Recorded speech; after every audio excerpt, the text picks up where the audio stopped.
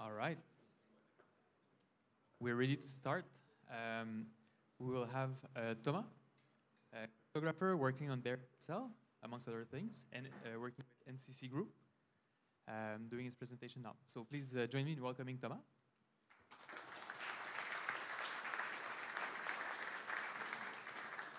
Hello. So this is something that I've been thinking about for 12 years or so, and uh, it's now time to show it. So it's about, as the title says, secure programming for embedded systems. So this first requires a good definition of what I mean by embedded system. So I have pictures.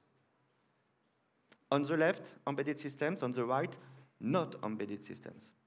So on the right, you will notice that there is a smartphone or a home router. Uh, for the purposes of this talk, these are big, large, not embedded systems. I'm not going to talk about these ones. On the left, you will recognize an uh, ESP32 module, so it's a small microcontroller with some RAM, some flash, and Wi-Fi capabilities. There is an actual smart toaster, a real one. I mean, it's really a connected toaster, which can send notifications to your phone over Bluetooth for some reason. And, uh, okay, the kitten is not embedded, but the, the collar is a GPS tracker that it receives GPS signals to know where it is, and it broadcasts a radio signal to inform the owner or master of property of the kitten where the cat actually is. So that's uh, also the same kind of system. It's small, it's constrained in uh, power, electrical power, computing power, memory, and so on. So in practice, what I mean by an embedded system is a small microcontroller, typically an ARM Cortex M-line or equivalent, uh, not a lot of RAM, we're talking 64 kilobytes or less than that. Not a lot of ROM, which is usually flash.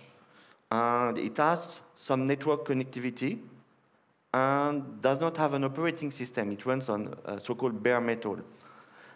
And there are very strong constraints on everything. For instance, uh, the computing power, or the size, the physical size of the device, or how much it's thermal dissipation because you don't want to cook your cat.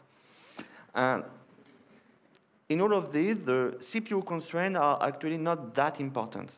Uh, in a typ typical uh, application for that kind of device, uh, it's not fast, it's slow, but that's uh, not the issue for the large majority of the code.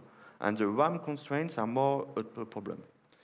Another example of embedded systems is this badge. It's typically that class of hardware I'm talking about. So these constraints have a lot of consequence on what is called software security.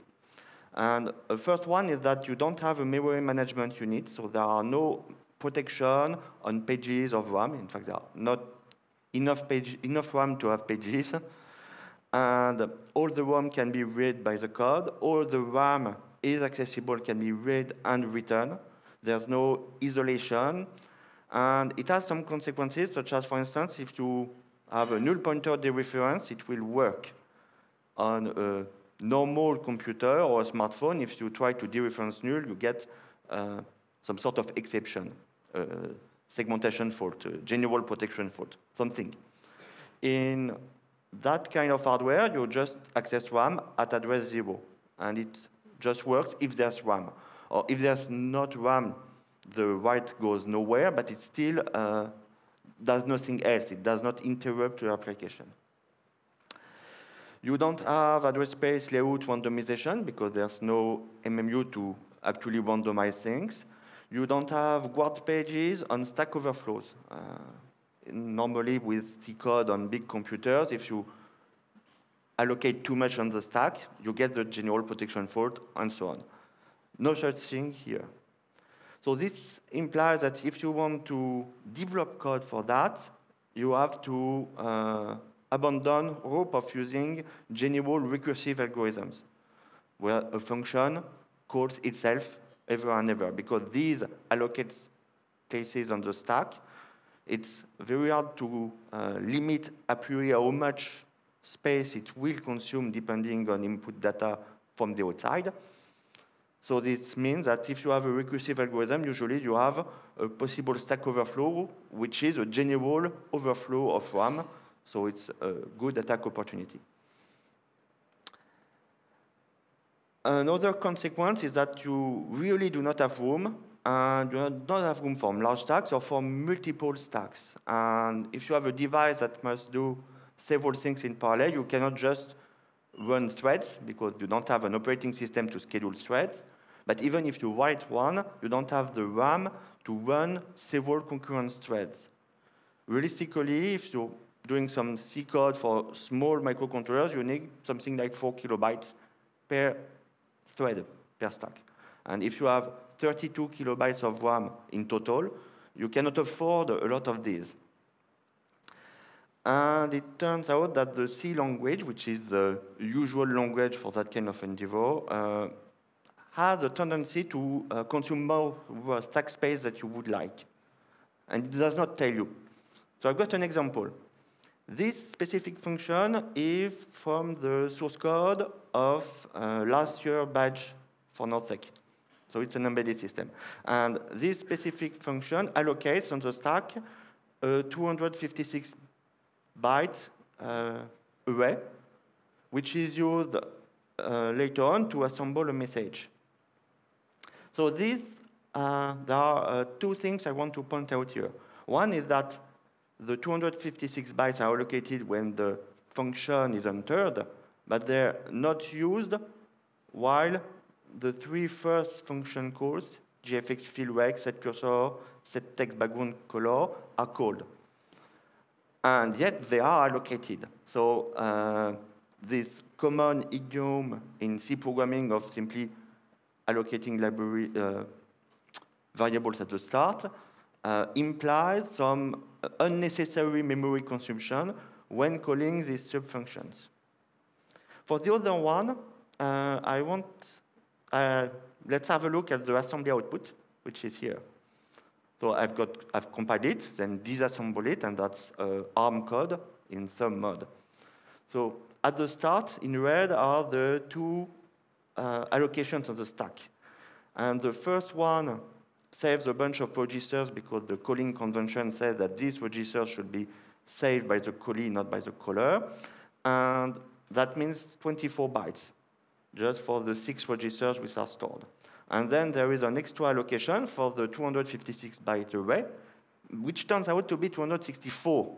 Why 264? Because when it's going to call the sprintf function, it will pass six parameters to that function. And per the ABI, the first four are in dedicated registers, but the next two are on the stack. So the C compiler not only is allocating the RAM right from start, even though the compiler knows that it won't be used at the start of, of the function, only later on, but also it allocates more than you asked for. So that's the kind of treatment that the compiler does, because it's usually a good idea on big machines, but on small microcontrollers, uh, it's more of a problem.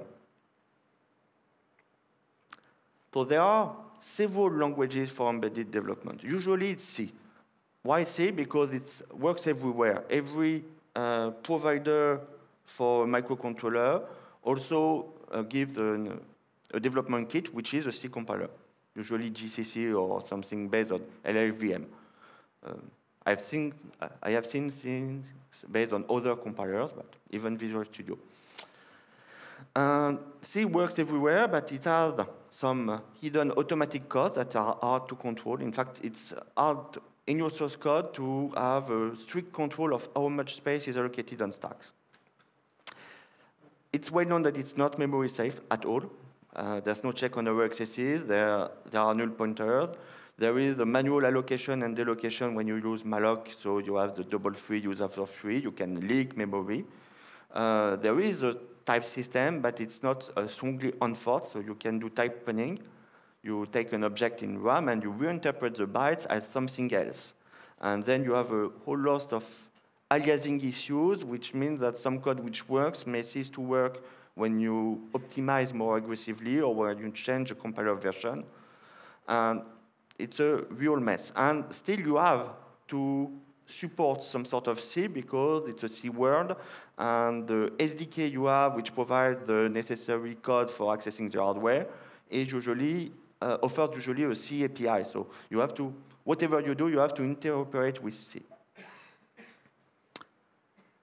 Now another candidate is called it's Java Micro Edition. It's an old thing which were working on phones when phones were not smart. Uh, I mean, that's like 20 years ago. And it has a garbage collector, it has strong types, it is known to be memory safe. And right now, on the right is something, it's a screenshot from Oracle site, because Oracle owns Java now. And it means that uh, if you want to use Java ME these days, you need at least 128 kilobytes of RAM, one megabyte of ROM, and still it's, uh, and you need to provide an operating system on top of that. And it's uh, still uh, very constrained. There is a note that says uh, actual footprint will vary based on target device and use case. So it's like the mileage on a car. Uh, it may change. so this, usually you cannot use that on the smaller microcontrollers, just too big. Another example is a fashionable language known as Go. And Go, uh, if you try to make an hello world for Go on your computer, you will get uh, something like a 3 megabyte binary. Uh, for some reason, it turns out to be large, but there are people who are working on something called TinyGo, which pretends to be Go, but uh, for microcontrollers. And it has right now some limitations. Uh, officially, the support for Go routines, which are the threads in the Go world, uh, is weak, uh, which is an euphemism to say that it does not work. And uh, you can have maps. I mean, in, if you could do some Go development, you have a lot of maps. Uh, it's a very basic uh, memory construction just to organize things. And in general, you can have up to eight entries in maps in TinyGo no more. So it's kind of restrictive. I mean, uh, I don't want to blame the people who are writing TinyGo. They're trying to do something which is uh, not really feasible, so they do their best, but uh, it's not because it's Go that it's magical. The RAM constraints are still there.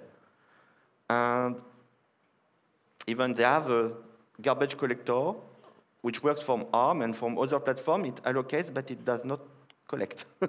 so memory just accumulates. Okay, uh, that's, it's not easy to write a portable code which does garbage collection. Uh, but uh, starting with Go would not make things easier. In fact, it's a language which has been designed for larger systems and which tends to assume that uh, there is space. and on this, this hardware, there's no space. Another fashionable language, Rust embedded. So they really intend it. I mean, there's a dedicated website, a lot of documentation, and they're making specialized conference and so on. So it's supposed to be as memory safe and as uh, safe for everything like Rust. So you can have a heap, but you can work without a heap, but then uh, it still have some uh, stack like C, and even more so because it wants to do a lot of magic things. And the magic is uh, the selling point of Rust, and it's exactly what I do not want. it's, uh, I want to have some good notions when I develop of where uh, my stuff is, uh, my data, sometimes cryptographic keys. I don't want data to be automatically compiled because the compiler decided that it was necessary to make a copy just to maintain the strict semantics of uh, sharing but no, no concurrent modification of Rust or to unroll. Sometimes the compiler will unroll loops because unrolling loops gives speed and speed is good, but it uses a lot of more code space. And it can imply a lot more uh, stack allocation. So it's uh, good effort, but then again, uh, starting with Rust will not magically uh, provide a better match with the RAM constraints. it provides the memory safety of the language, but it does not solve the issue with the memory usage. now, that one is very old. It's from the early 1970s. It's older than me, which uh, is already some feat. And uh, it's more a philosophy than a language. And if you talk to people who are doing something with Forth, they tell you that you are not supposed to use the language, you are supposed to re-implement it.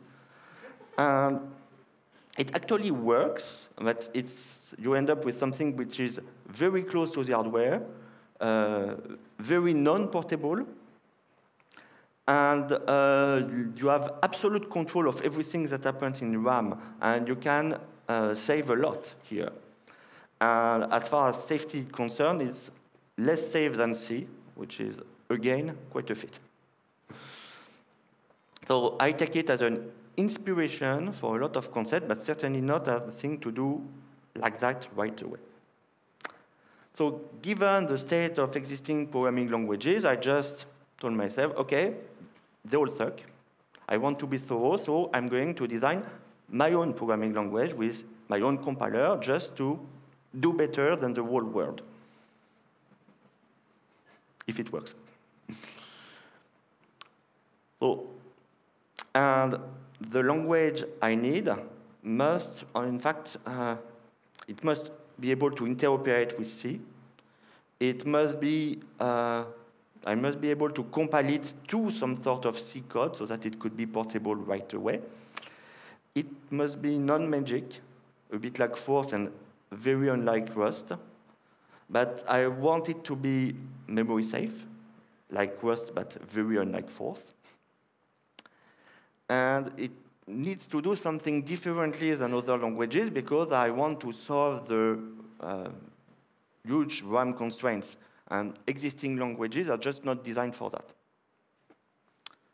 So I've got a success story from something which I call T0, which is the predecessor of T1.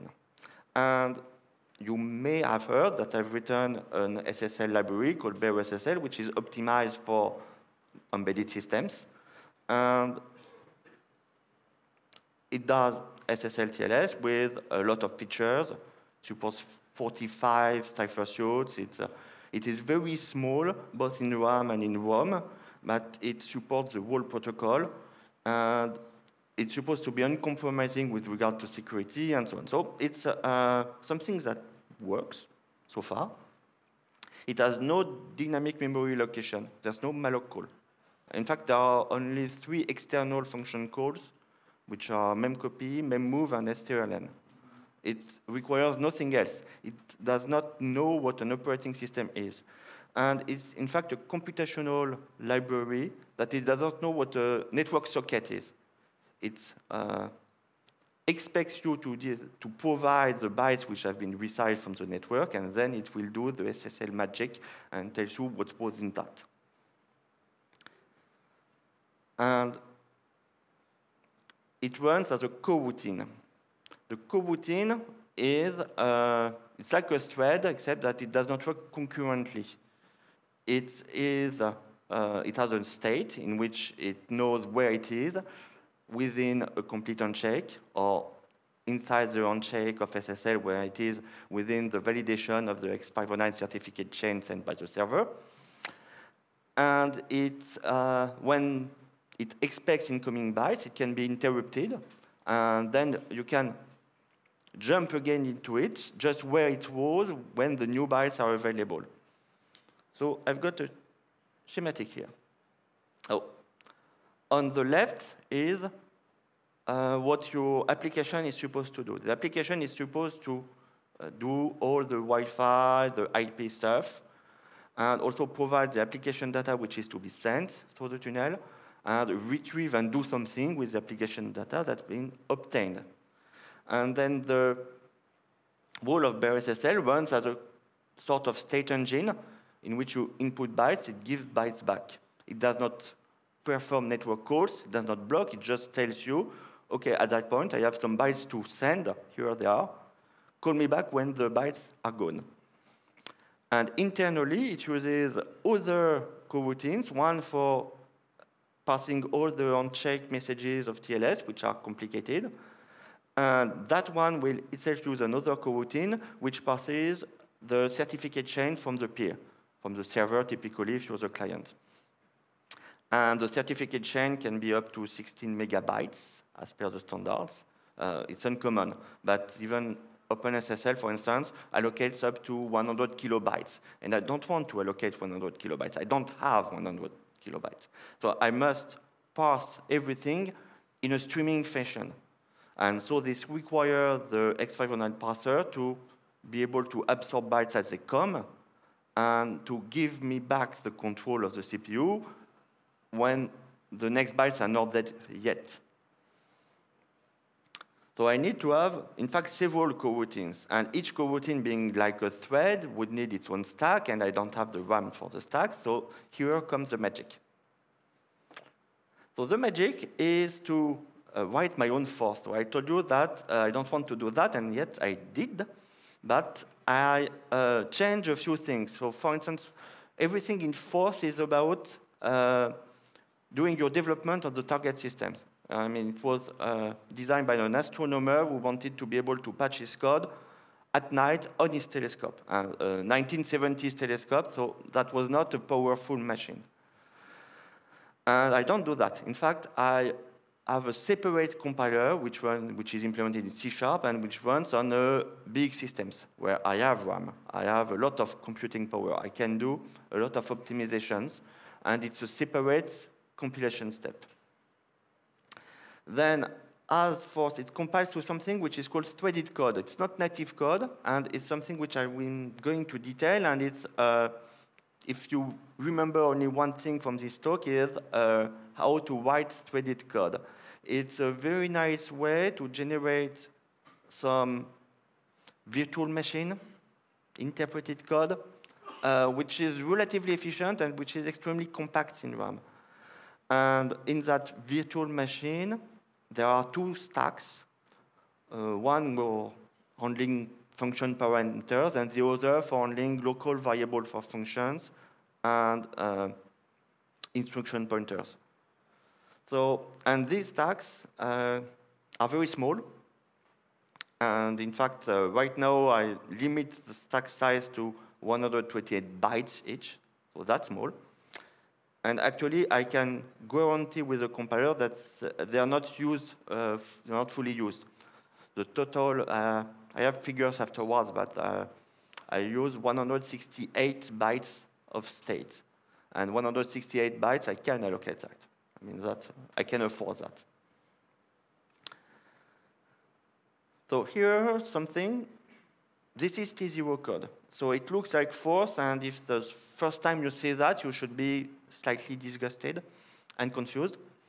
But uh, it actually makes sense. Uh, it's a postfix notation, which means that when you are uh, doing operations, you put the operands first and then the operation that acts on them.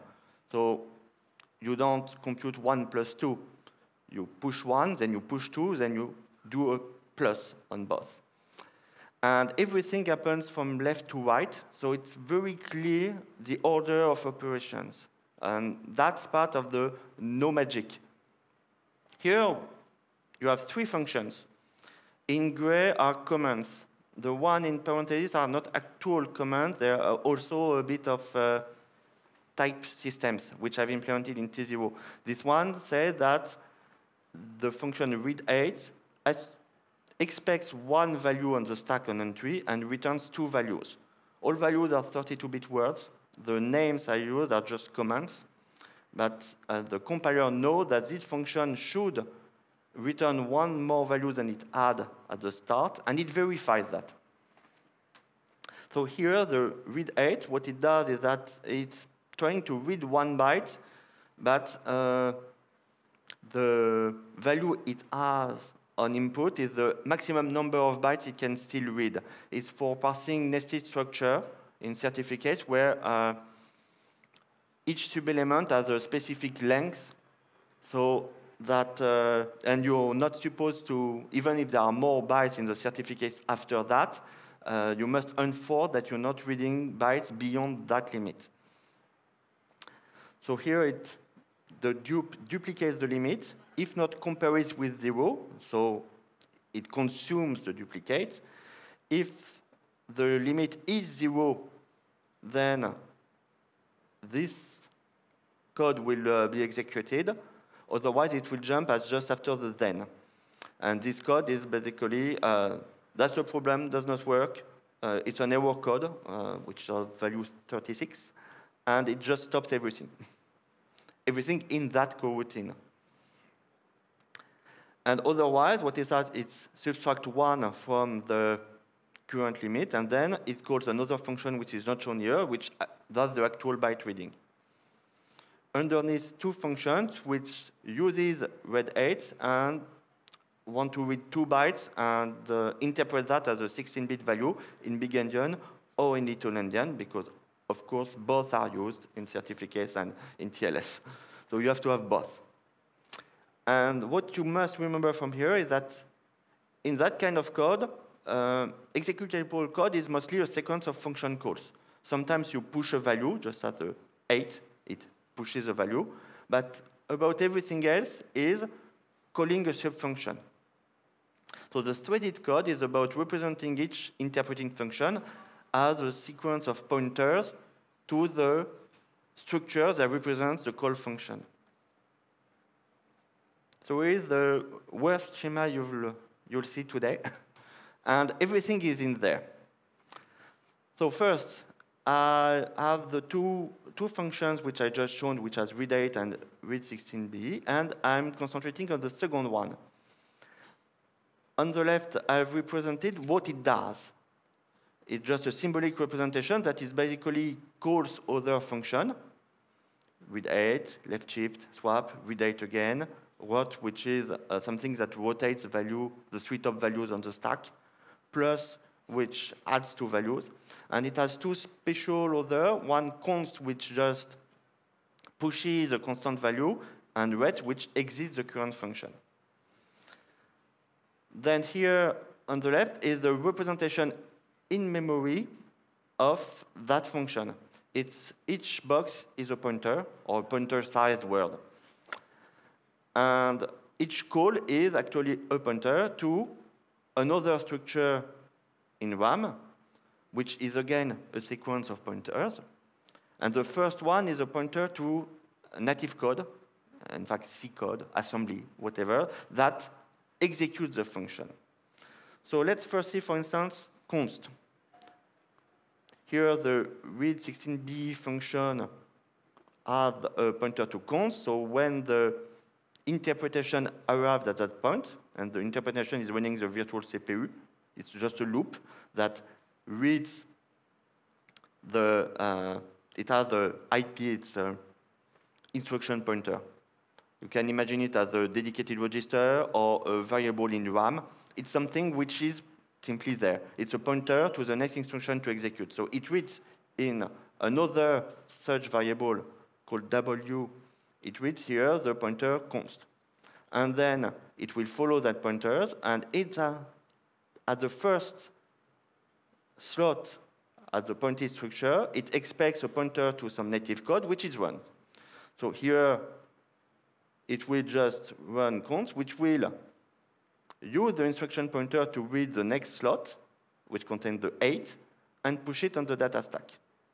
Afterwards, it just loops. So from the C point of view, Uh, you're not accumulating function calls.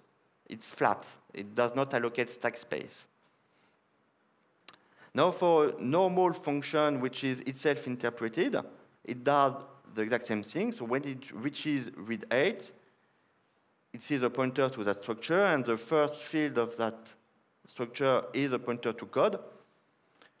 Which, and what it does, here is the magic of the threaded code. It uh, saves on the system stack, it saves the current extension pointer, and then change it to just the next slot. So it's calling a function, remembering on, that on the system stack where it was, and modifying the instruction pointer to point to the code of the call function, which is here read8, which does its stuff. And at the end, read8, when it reaches the ret, ret will just point to the same place as here, which just restores the instruction pointers. So when you run that small loop, which is basically your virtual CPU, from the C point of view, just a single loop, does not call everything, but by virtue of reading the instructions and following the pointers and executing the things, it's really running the code and the function calls and functions that that function calls and so on. So this is called indirect threaded code because there are two indirections for each instruction. So it's not especially fast, but it's very simple. And with that kind of technique, you can have complex code which does allocates very little space on your stack. Here there are two stacks which are uh, manually implemented. They are not the system stacks. There one where you put the instruction pointer and it's just four bytes. You know exactly how much space you consume on it. There's no automatic compiler which will say, oh, I need a few extra space just to put some parameters for function and so on and allocate more. This does not happen. And the data stack is where all your values such as 8. And this one, again, is something where you know exactly how many values you push on that. Because that's where everything goes, in fact. So there is an extra trick that you can do over that.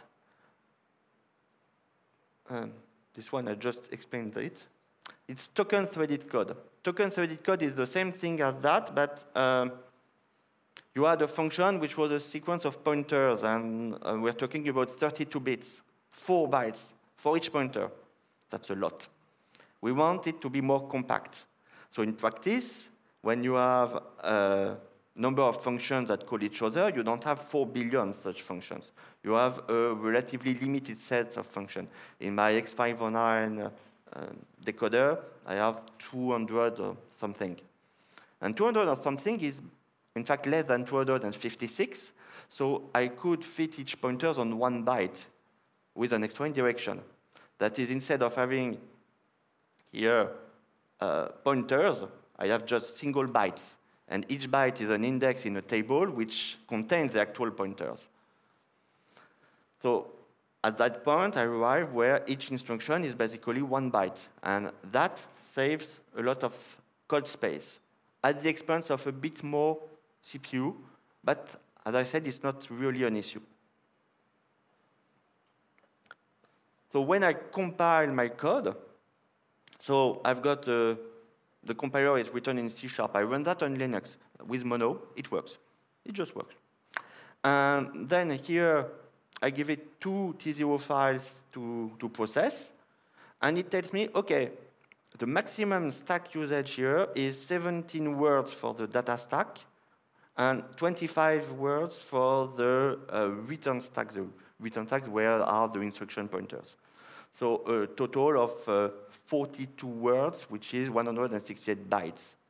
It also tells me that all the code that implements all the X509 certificate validation with the decoding of the names and which are uh, doubly nested structure and the decoding of public keys and it decodes the validity dates. It implements all the rules of a proleptic Gregorian calendar and you don't want to know what that means.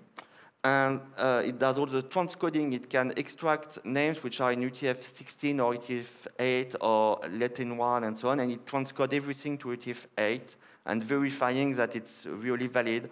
And it explores the subject item extension, it explores the basic constraints. It, it does a lot of stuff, and it does all that in 2,836 bytes. There's a bit of extra C code, but the compiled one fits in about six kilobytes. So to show you how it looks, where did I put that? And uh, okay, this is the code which has been automatically generated.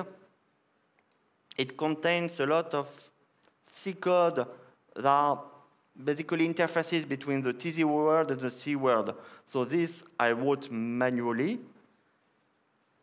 And then here, these are the instructions. So the actual code written in T0 uh, is there. This has been computed by the compiler. So it's basically bytes. There are some uh, symbolic values, but uh, this, with a macro that says that, for instance, this one is just a single byte. So this is a single byte. So there's, these are the 2,836 bytes. Then this is the indirection for the uh, token that say when it says the token zeros in the function at address zero, address five, address 10, these are the addresses, the offset within the other table of where the function code starts. So you've got all of them here. And I, am skipping the macro. Here are the here is the instruction pointer. It's just a local variable, and the virtual CPU, CPU here is just a for loop. And what it does, it read the next token. If the token is below a computed value, it's uh, called to a primitive, uh, native function, and then it's a switch. It's where I put all the small code which goes to the C world. And I've got 63 of them, I think, here. Yeah, no, 61. It goes to 60. And after otherwise, T0 enter, it means, okay, it's an interpreted function, so it does what was shown in the previous slide as enter. It just enter the next function. And that's the stuff. So there's only a single function which really interprets all the code. And, and thus, what that means is that I can do some complicated treatment uh, while saving a lot of RAM space. I know exactly how much RAM I'm using, and it's not a lot. And I have strong guarantees. I have strong guarantees which are compiled and verified on stack usage. And since there's no malloc call, I know that I won't leak memory, and I know it won't overflow its stack. And so it has some sorts of memory safety, but not everything. Not everything because it works, but it's not actually memory safe. And in fact, uh, two and a half years ago, there was an actual buffer overflow in that code. In the experience certificate, which was found with a fuzzer, which uh, was relatively impressive because that means that a fuzzer can uh, actually follow that kind of code uh, just automatically. and uh, there was a type confusion. I was decoding a value at the 32-bit unsigned integer and then interpreting it as a signed integer to see if it was not larger than a buffer size. And of course, 3 billion and so on was negative as a signed 32-bit, so it was not larger than the buffer. But when trying to read 3 billion and so bytes into a buffer, well, it was a bit large.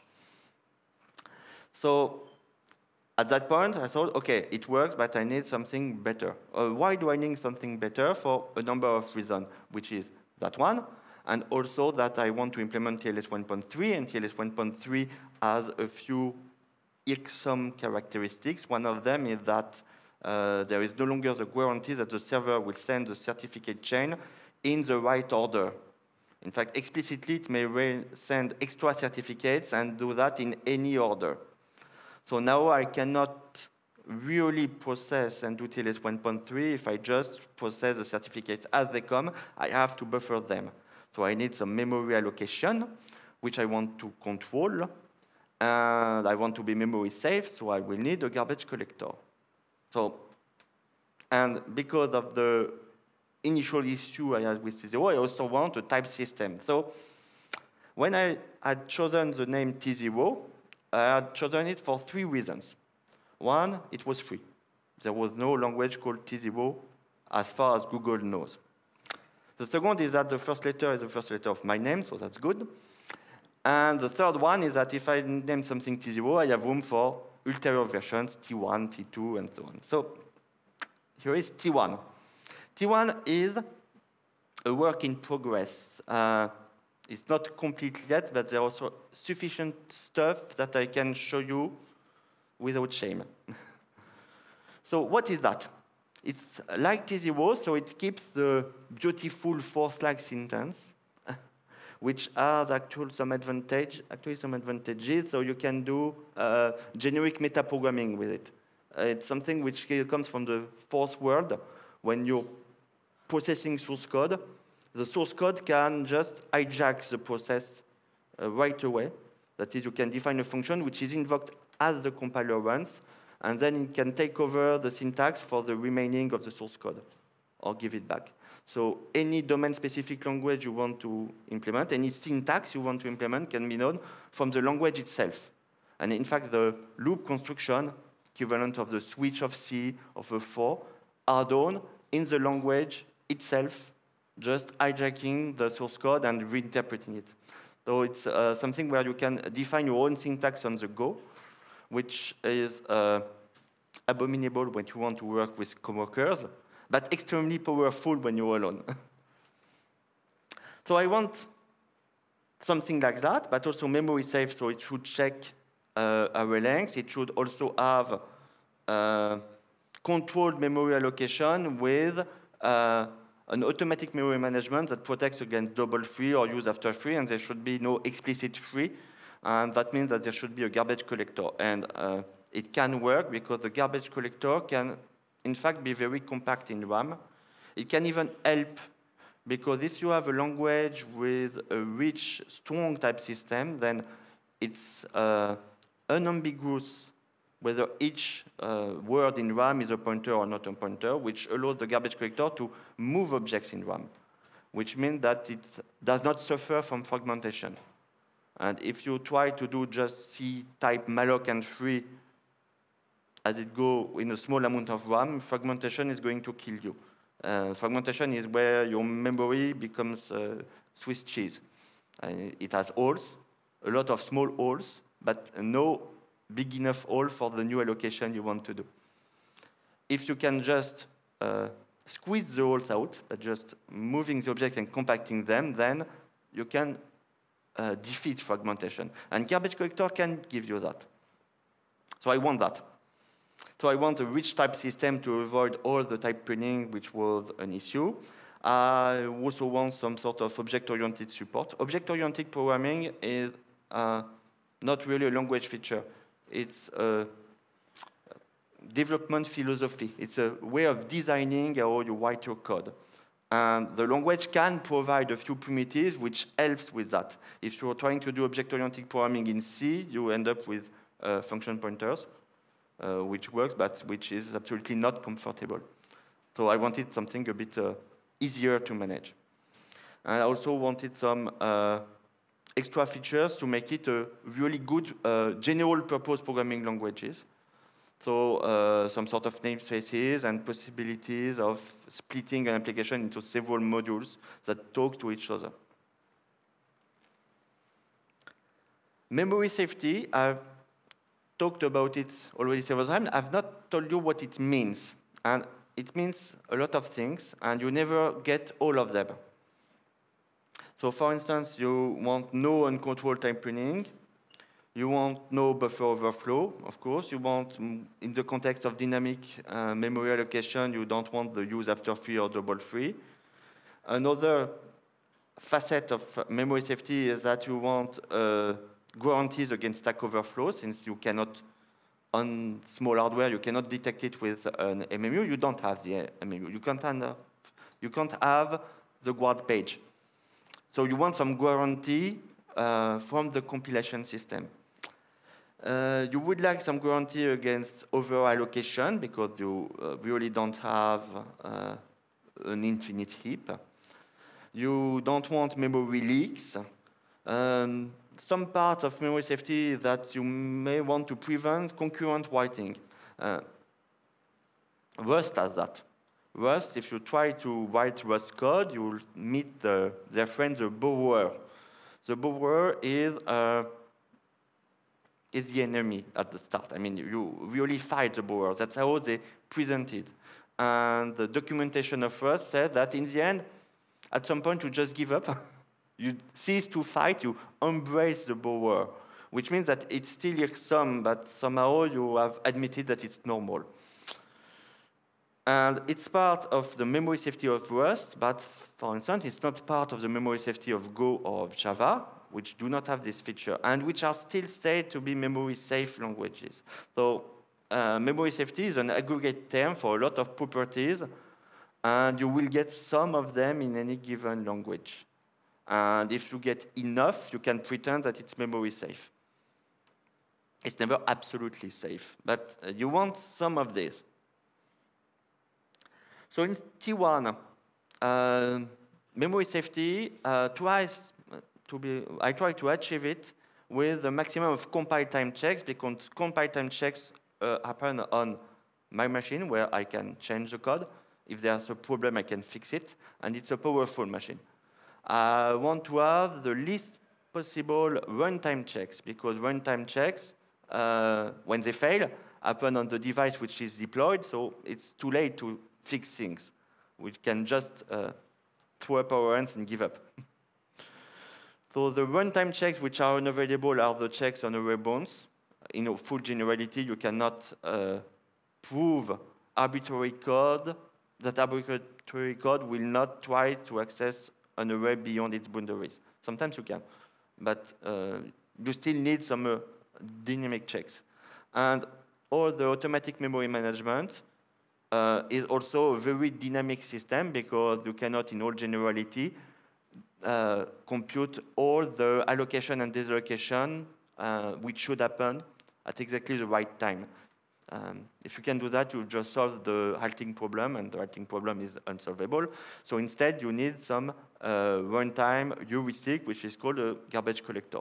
And it may fail with the out-of-memory exception or equivalent when it just cannot. But usually it works well. As compile time checks, I want the maximum stack size. I want some sort of escape analysis because I want to be able to allocate uh, full objects on one of my stacks and to be sure that uh, it won't be accessed after the space has been released. And this is called escape analysis, and it's important for safety but it requires some sort of smartness from the compiler.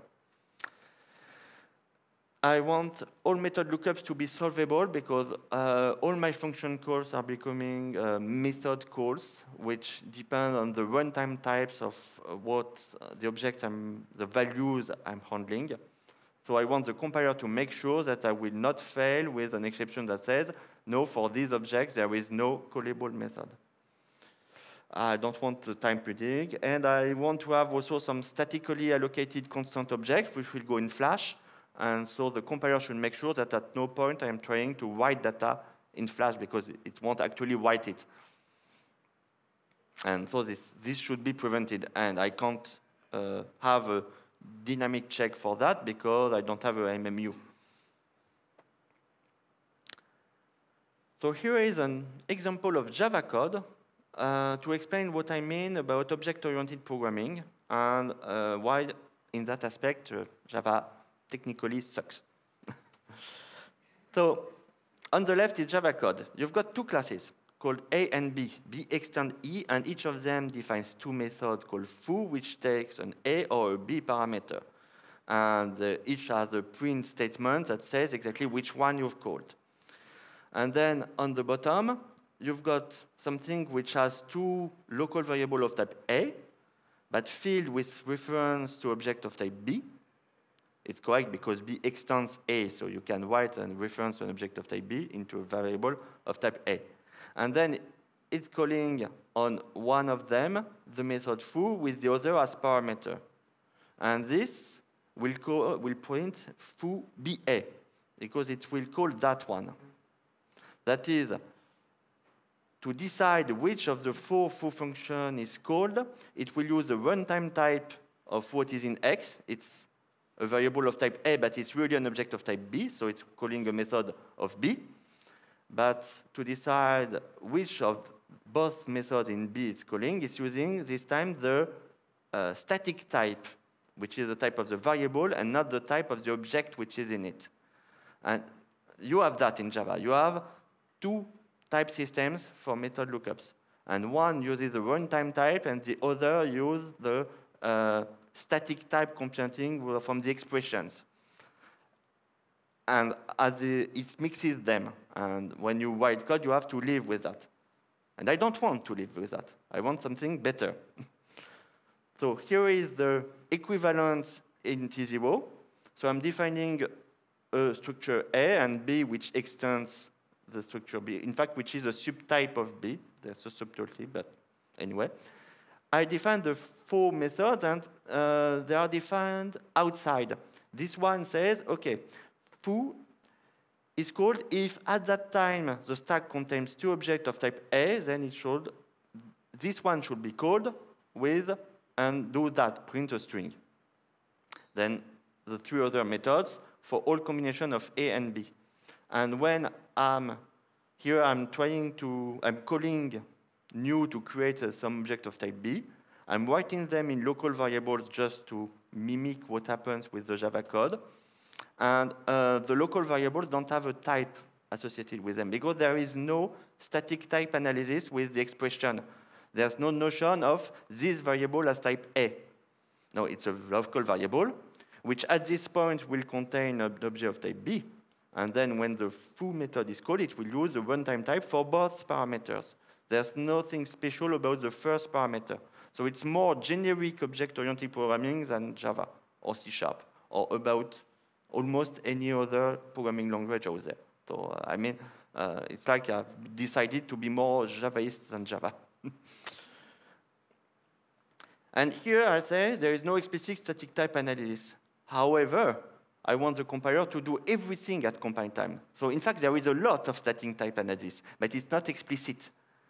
I want the compiler to be able to work out when it sees that code that when it's calling foo, there will be the two objects will have type B, and there is a matching method which will be called. And preferably even to work out at compile time that this will be that fourth method only, so that will be a direct call, and the three other methods won't even be included in the generated code because they're not called. so I had to define sometimes, you've I've seen some uh, structures, so I want to have uh, decided that every value was a pointer. I mean, even a plain integer is a pointer. It's just a formalist trick. Uh, I mean, I say that when you have a value 5, it's not 5. It's a pointer to a virtual instance which incarnates the value 5, which allows me to say that everything is a pointer. And it contrasts with Go, where uh, usually you have value types uh, if you define the struct in Go and you have a value of that structure, it goes wholesale on your stack. If you pass it to a subfunction, it will copy it, so it's more space on the stack. So instead, in T1, everything is a pointer. So if you want to have a copy, you have to call for it. And this is part of the process of keeping the developer, which is myself, aware of all the memory which is allocated. So I've got a number of types, including plain integers and modular integers. Integer, modular integers are uh, usual 16, 32 bits, 64 bits integers. You know them. And there's no null pointer. I just don't want null pointers. I mean, everything is a pointer, but there's no null. Just like it. So if there's no null, there's no null pointer dereference. This should fit. And there's no null pointer dereference, so uh, it's not a problem. But of course, you can have uh, some structures with uninitialized fields. And then the idea is not to return a null in that case, is to trigger an exception, raise an error. In fact, kill the complete coroutine. So it's a way of avoiding the null values to spread everywhere. This is not a completely novel thing. I mean, there are other languages which use null. One of them is Objective-Caml. For the plain integers, I've decided to uh, go as ADA. I mean, if you have some integers and you do an operation which goes out of range of representable values in integers, you've got basically six ways to handle that. In C Sharp, Java, Go, it's guaranteed to use modular arithmetic. It's truncated to 32-bit, and that's it. In ADA, another language, it's, raised, it was an exception if you make an overflow. Uh, this has destroyed the Ariane 5 first flight the expensive rocket. But usually it's still a good idea. Uh, in Rust, you can have both. It depends on whether you compile with or without debug. So, uh, so much for safety. And uh, in Python or Scheme, most scheme implementations, when you go out of range, we don't go out of range. It just uh, automatically switches to big integers with dynamic memory allocation, which is nice, but it, it requires dynamic memory allocation. In JavaScript, it's doing something weird, which is to use floating point instead of integers. So when they go out of range, they become approximate, and at some point they become infinite, which uh, does not make for really strong code. And in C or C++, if you go out of range, it's an undefined behavior, so anything goes. So I've chosen to use the ADA way because it seems to be the uh, safest among these that don't not require dynamic memory allocation. Okay, this one, I've got two minutes. Okay. Uh, here's the secret weapon to make the whole thing work. Uh, it means that uh, all the type analysis which is performed by the T1 compiler uh, is not on a per function basis, it's on a whole program. The idea is that here you've got a function called triple, which is defined to be invoked on any object. And what it does is that duplicates twice the values and calls twice the plus function, which is supposed to add it to itself if it's an integer. If it's a string, it will just concatenate it. So triple can uh, works with integers, modular integers, with strings, but not with everything. Not everything can be added. And the compiler does not mind that I said it can be called with any object because uh, it does not try to imagine what it would happen with any matching possible type. It just want to make sure that I'm not calling it with a type for which it would not work. So here, when it sees the main function, it follows what the main function does, sees that it calls triples, and at that point, there will be a modular 32-bit integer, and so it analyzes that triple function with a stack that contains a 32-bit integer, and it works. And then in the second line of main, it will see that it calls triple again, but this time it's a string, so it does the analysis again, this time with a string, and it still works. And crucially, it does not try to merge both. It considers the two triple calls to be independent of each other. So it does not try to imagine a triple function which would have a, a stack with three values, which can be each of them an integer or a string. So it does never ask itself what would happen if it tries to add a string with an integer. Because it does not happen. And the compiler works, that, works out that it does not happen, so everything is fine. And when generating code, it will know for each of these code which plus function is to be called, and it won't even have to look at the runtime time of objects, because the compiler will have known at, which, at each point where, uh, what is really the type of things on the stack. So this implies one detail that, but it means that the code has generics. In fact, every function is generic. So you can tell that to Go programmers where they don't have generics. In T1, there are generics. I mean, you, you can't do anything without generics. It's all there. It also means that we really can't tolerate recursion because that would mean an infinite tree, and an infinite tree takes an infinite amount of time to compile, so no. and there's a lot of, uh, this also uh, allows escape analysis and detection of writes to constant instances. So the current status, that's my last slide. So I've put it uh, two days ago on GitHub. This one uh, just put the stuff. And what you will find there is a 55-page docu document, which is a specification of the language with a rationale and a lot of explanations of why it's designed that way. And there is an incomplete Bootstrap interpreter compiler. It's the first compiler which, uh, whose destiny is to be uh, trashed at some point. Uh, it's just to be able to write a second compiler, which will be the final one written in T1 itself. So I need a bootstrap for that. And that first bootstrap has a working interpreter. It works. It does the whole program analysis, but the uh, code generator is not finished. So I have to finish that to add some sort of standard library with, for instance, list and sorted maps with dynamic memory allocation and a small garbage collector, which I already have, but it's not integrated. And then I will have to rewrite the T1 compiler in T1 because that's the tradition. When you design a language, you do that. I mean, it's unavoidable. And it's a very good test bed. And if it works, if the compiler can compile itself, then you know that a lot of things that you implemented actually work.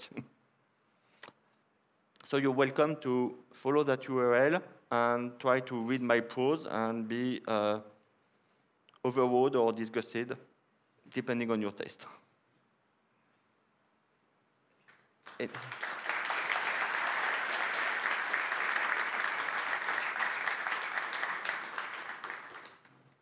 we, we are almost out of time, but we might have time for one or two questions. Uh, Why do you want to rewrite your T1 compiler in T1? Hmm? Why do you want to rewrite it? Uh, okay. Uh, first, because um, it's very traditional to write a compiler of a language in itself. It's uh, a way to demonstrate that the language works uh, to other developers.